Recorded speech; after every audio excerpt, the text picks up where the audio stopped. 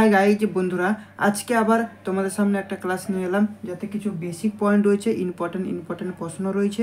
এগুলো হচ্ছে as a site engineer হিসেবে, বা যারা ইন্টারভিউর জন্য প্রিপারেশন নিচ্ছ, তাদের জন্য কিন্তু খুবই ইম্পর্টেন্ট প্রশ্ন। তো বেশি কথা না বলে এক এক প্রশ্ন আমরা ডিপলি ডিসকাশন করব। তো চলো, দেখা যাক সর্বপ্রথম নম্বর এক নম্বর প্রশ্ন কি বলছে। দেখো, এক নম্বর প্রশ্ন বলছে বোর্ড কাস্ট ইন সিটু ঠিক আছে? দেখো, এটা তোমরা প্রত্যেকেই বুঝতে পারছ ব্রডকাস্টিং ইন সিটু মানে আমাদের পাইলের কথা বলা হচ্ছে। দেখো পাইল যখন আমরা সাইটে পাইলের কাজ করি ডিফারেন্ট ডিফারেন্ট পাইল রয়েছে, তার মধ্যে কিন্তু একটা অন্যতম পাইল যেটা আছে কি ব্রডকাস্ট ইন সিটু এর মানে বোঝার মানে বোঝা বা মনে রাখার যে ক্যাপাসিটিটা খুবই সহজ কীরকম না, দেখো, এই যে বোর্ড বোর্ড মানে কি বলতো? বোর্ড মানে পাইল যখন আমরা করি, তখন আমরা কি বোরিং করে করি?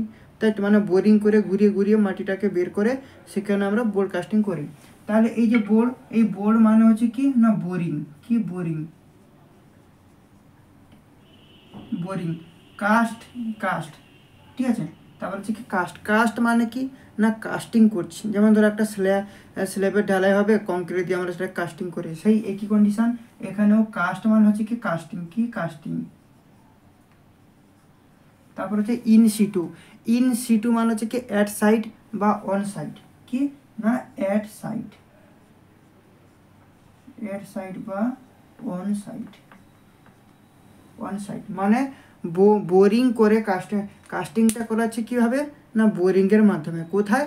না সাইটের মধ্যে। অন দ্য অন সাইড বা অ্যাড সাইড ঠিক আছে, সেটাকে আমরা কি বলি? Bored cast in situ clear চলো।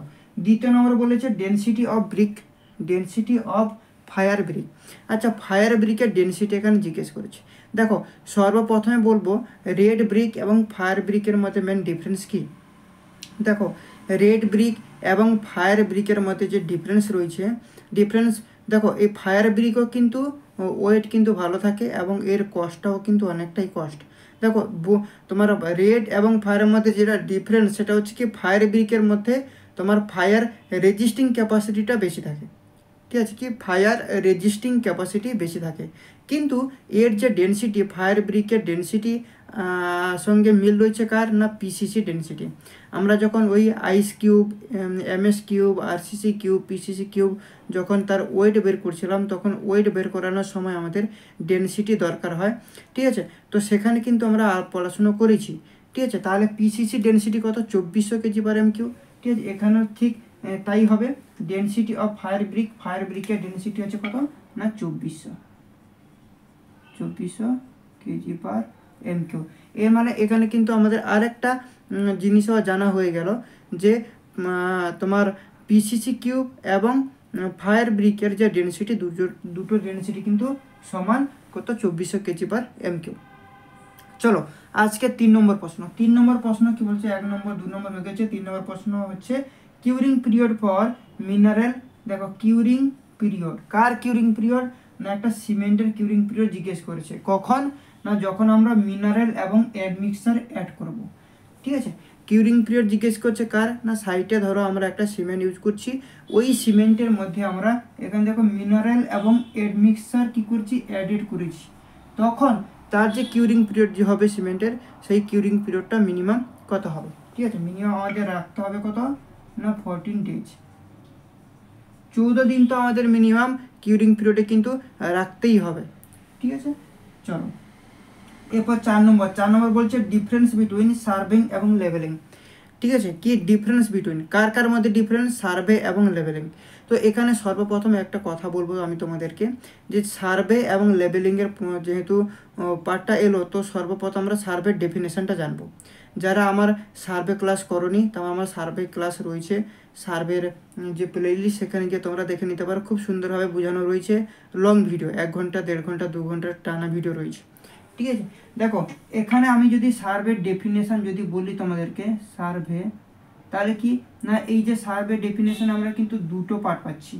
একটা কি পার্ট ওয়ান এবং একটা রয়েছে পার্ট টু পার্ট টু তাহলে দেখো এই যে পার্ট ওয়ান পার্ট ওয়ানে যেটা রয়েছে সেটাকে আমরা কি বলছি? সার্ভে সার্ভে কেন? না, এটা হচ্ছে কি হরাইজেন্টাল হরাইজেন্টাল প্লেন হরাইজেন্টাল প্লেনে কাজ করে মানে মেজারমেন্ট করে। মানে ধরো এই একটা রয়েছে আমাদের লেন্ড এই রয়েছে একটা লেন এই লেনটা আমি টেপ বা চেনের মাধ্যমে একটা জায়গা থেকে আর একটা ডিস্টেন্স আমি অবজেক্ট থেকে আর একটা অবজেক্টের ডিস্টেন্স আমি কি করলাম? মেজার করলাম। তো এটা কিসের মাধ্যমে করলাম? না, একটা তোমার ল্যান্ডের উপরে চেন বা টেপের মাধ্যমে হরাইজেন্টালি মাপা যায়। তো এটাকে আমরা কি বলছি? সার্ভে এবং পার্ট টুতে যেটা আসছে, সেটা হচ্ছে কি? লেভেলিং কি?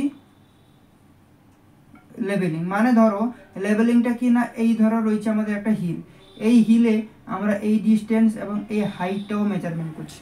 মানে এটা কি? ভার্টিক্যাল প্লেন হচ্ছে কি? ভার্টিক্যাল প্লেন ভার্টিক্যাল প্লেনে আমরা মেজারমেন্ট করছি।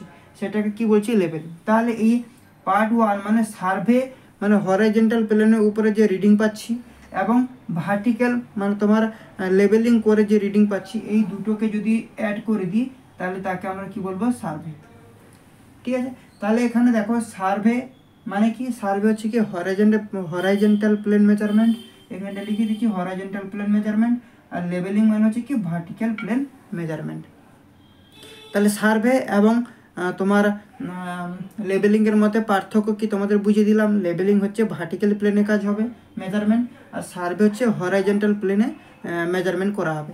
কিন্তু সার্ভে ডেফিনেশনে কি আছে? এই যে সার্ভে মানে পার্ট ওয়ান হরাজেন্টালে পাওয়ার রিডিং এবং ভার্টিক্যালে পাওয়ার রিডিং এই দুটোকে যদি আমরা অ্যাড করি দিই, তখন তাকে সার্ভে বলছে। তাহলে সার্ভের ডেফিনেশন হিসাবে কি আছে? The to the relative position of two point মানে তোমার এই সার্ভের যে পাওয়া রিডিং আর তোমার লেবেলিং করে যে যেটা পাচ্ছি আমরা রিডিং এটাকে আমরা কি বলব? না অ্যাকচুয়াল সার্ভে ঠিক আছে? চলো। এরপর হচ্ছে কি? পাঁচ নম্বর। পাঁচ নম্বর কি বলছে? টপোগ্রাফিক্যাল সার্ভে কি? দেখো টপোগ্রাফিক্যাল ম্যাপ আচ্ছা টপোগ্রাফিক্যাল মান ম্যাপ মানে আমরা এই নামটা থেকেই বুঝতে পারছি টপোগ্রাফিক্যাল টপো মানে কি? টপ টপ থেকে আমরা দেখব। কি কি দেখব? না টপ থেকে আমরা যদি ন্যাচারাল ফিচার্সগুলো দেখতে পাই, তখন সেটাকে আমরা টপোগ্রাফিক্যাল ম্যাপ বলব। কি? না, একটা কান্ট্রির মধ্যে, একটা কান্ট্রির মধ্যে। ঠিক আছে? আমরা কি কি খুঁজবো? না একটা কান্ট্রির মধ্যে ন্যাচারাল ফিচার্সগুলো আমরা পাচ্ছি।